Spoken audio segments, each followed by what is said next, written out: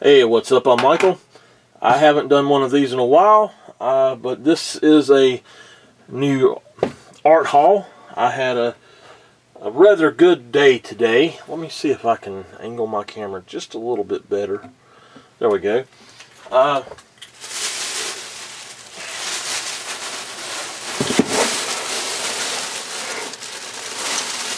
I went and bought some stuff. I sold some of my art and I had enough to go get a few things that I was needing and wanting to try out and stuff like that. So uh, just supplies and stuff. So let's see what all I got. And by the way, uh, I have picked up several things between the last video and this one.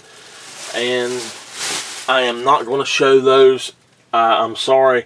I just don't remember what I've got since the last one. So the first thing the reason I need the big bag. Okay, there we go. This is a new cutting mat. Uh, if you want a cutting mat like this, they have them at like uh, at Walmart and stuff and at Michael's and places like that and they're really expensive. I've seen a mat this size for $80 and I absolutely don't see any reason that that should be $80. I'm trying to get my camera fixed right. But let me explain what I want with this one. I do not want to use it to cut with. I am going to place it right here.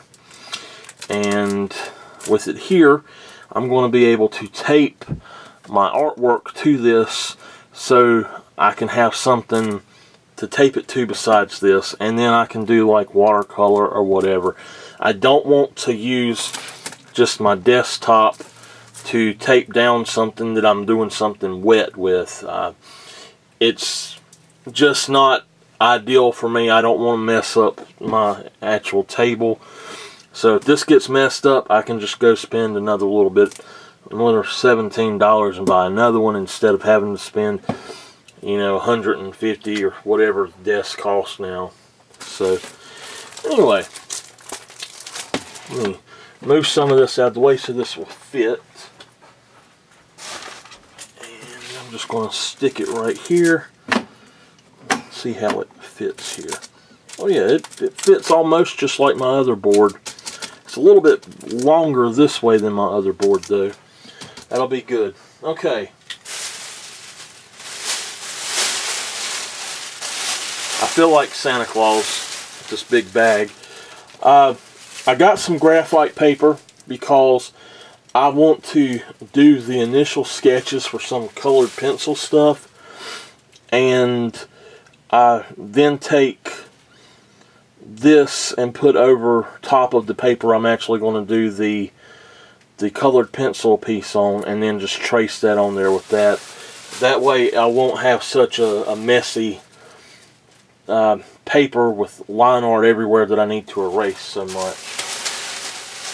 Uh, let's see here. I got some brushes to put down my odorless paint thinner on my coloring color pencils. And if I can find them, I picked up some more colored pencils actually. And I'll get to the others in a minute. Let me stick these over to the side and then I'll do them last.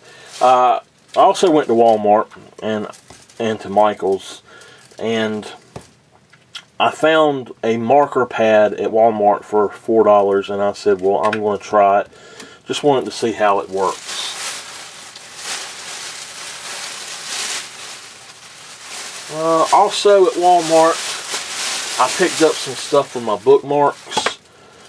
I got uh, some yellow ribbon for the, the Sun Conure and some UNC uh, North Carolina Tar Heels ribbon. I'm going to be using that for something uh, Christmas time. I think that's everything in my big bag.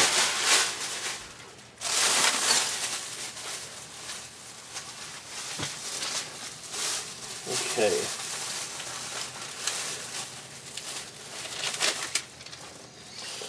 Alright, I got another white for if I run out, Prismacolor. Uh, this is ginger root Prismacolor, which I don't believe I have any of. I got a replacement for my uh, crimson red.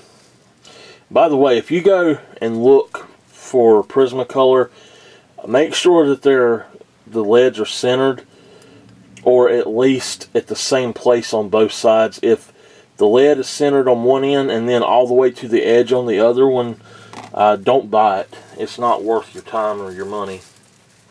Uh, this one is the best of the ones that I've seen. But that is Sky Blue Light. It's another one I don't think I have. And I'll, I will definitely be using a brown like that color there, that really light cream look. And then the really, really light blue. Uh, I picked up a new set of the Derwent sketching pencils. Now, if you go to Michael's and you buy, you want to buy any of the Derwent pencils, look at the open stock. Uh, these are like a dollar ninety-nine a piece. Plus, you usually get a coupon. So, if you buy this, they come with one of the Aquarella um, or the the Derwent Sketching water soluble ones as well. So that's four pencils. Four times two is eight dollars. If you buy the same set in a pack that's got these three pencils with that other pencil, they charge you twelve dollars. So you save four dollars by just buying them like this, or if you just get the three, you save six dollars or half price. So um, also Michaels is ten cent cheaper on Prismacolors now. So uh, something else I wanted to do because I am trying to get into doing colored pencils and I have no reference really other than watching videos of other people. Uh, there is a a very very talented artist uh, named Lisa. I don't know her last name. She does the Lachri Fine Art website and um, YouTube, and she is my inspiration for doing colored pencil artwork. Uh, the reason I'm wanting to do colored pencil artwork is that I have been doing pastels and I love them, but they are extremely hard to store the pastel paintings and keep them from getting messed up. So, uh, colored pencil projects are not nearly as hard to store and um, keep them from getting messed up, in my opinion. So, another thing, two other things I got. I also picked this up. Uh, it's just Colored Pencil Basics. I love getting art books, and a lot of people say, oh, the art books are not worth it, but I really, really like going through these, even if I don't use everything in it, or I just, you know, look through it one time or something. I pick something up out of these every time I pick them up. It doesn't matter how many times I've looked at it. Every time I pick it up, I'm going to find something that's going to help me. So I got that one on Colored Pencil Basics. Uh, these are the Walter Foster, and they have always got really good books. Uh, I've got several of them already. And then I also got this one, which is one of the smaller ones, and it's Flowers and Colored Pencil and this one has uh, different instructions on how to use this and make colored pencil more realistic looking and then this one does. So this one's got some things that are really good looking in it and this one has other things that are really good looking and they use different techniques so I want to get both of them now they had another one that was doing animals and it it looked like somebody just coloring with a crayon or something, and I didn't really like that one, so I didn't go for it. But uh, I'm going to be going through these, and this is my art supply haul for now. I will go on and tell you what I have picked up a little bit of since my last one. I got another set of pastels that are like a, a take-along set if I want to. They're half sticks they're just cheapo Michaels brand, the Artist Loft brand. And I also picked up two or a set of watercolor pencils. So I have two sets of pencils and I'm building another set. Uh, one set is the Artist Loft by Michaels. Uh, the other set is the Kimberly's or General's Kimberly watercolor and I've had those for like 20 some years uh, and then I started picking up these individual um, the Art Grip Aquarella Aquarelle uh, Faber-Castell and I just use my my pen here, my brush pen, which I didn't realize it had water in it. um, but that's some of the stuff that I've gotten. Uh, I picked up a couple of other little sketchbooks. Um, and I think that is about it, actually. Besides maybe the sketchbooks, like I said, I think... Oh, okay. I picked up a bunch of other bookmark making supplies, a bunch of different ribbons. Uh, I do want to show this other thing I got. Wrong drawer. Okay, so I did get two other things. If you're an artist and you need to measure things and center things at all, go and buy one of these. This is a zero centering ruler. Uh, I got this one at Hobby Lobby in the the stamping aisle. Uh, they have like the the card making supplies and stuff like that around there um, where the paper cutters are. This was on that aisle. I don't know the name of the brand, but um, well, it says it's made by Westcott. Uh, but it's called a zero centering ruler. I've seen some called self-centering rulers. I don't know why they would be called that, but um, these are excellent if you need to ever center anything.